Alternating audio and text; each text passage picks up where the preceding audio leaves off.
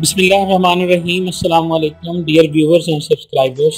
میں ہوں حبیب اللہ قمر اور آپ دیکھ رہے ہیں Aslam Bakhtar audio media channel ناظرین، آج کی ہماری جو ویڈیو ہے یہ پنجاب یونیورسٹی کے ان اسٹوڈنٹس کے لیے ہے جنہوں نے پنجاب یونیورسٹی میں بی ایس کی کلاسز کے اندر جو ہے نا وہ اپلائی کیا ہوا ہے۔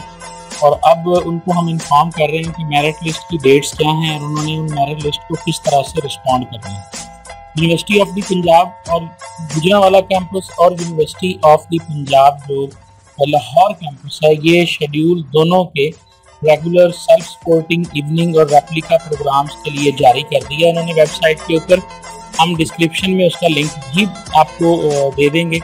لیکن تھوڑی سی گائیڈنس کی ضرورت تھی جس کے لیے یہ ویڈیو ہم نے بنائی ہے کہ اسٹوڈنٹس جو ہیں وہ کسی بھی قسم کی سستی اس میں نہیں کریں گے۔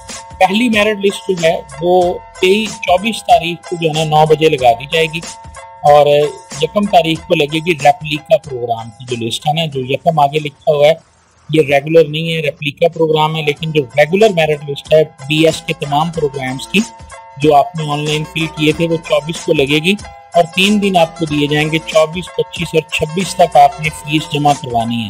اگر آپ فیس جمع نہیں کرواتے تو آپ کا داخلے کا جو حق ہے وہ ختم ہو جائے گا اور یہ مل جائے گا سیکنڈ میرٹ لسٹ کے کینڈیڈیٹس کو، جو کہ ستائیس نو دو ہزار انیس کو لگے گی نو بجے۔ ان کو بھی چار دن دیے جائیں گے۔ شاید اس میں ویکینڈ آ رہا ہے، اس وجہ سے چار دن ہے تیس تاریخ تک جو ہے وہ سیکنڈ میرٹ لسٹ کے کینڈیڈیٹ جو ہے نا، وہ فی جمع کروائیں گے۔ اس کے بعد تیسری میرٹ لسٹ جو ہے وہ یکم اکتوبر کو لگے گی۔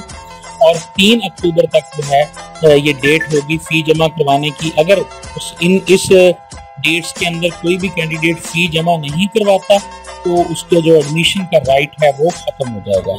اگر ایڈمیشن کی سیٹس کمپلیٹ نہیں ہوتی، جیسے پچاس سیٹیں ہیں، ابھی فورٹی ایٹ کی فیسیں آئی ہیں، تو پھر چوتھی میرٹ لسٹ بھی ہے جو آپشنل ہوتی ہے اف ریکوائرڈ تو وہ چار اکتوبر کو لگے گی۔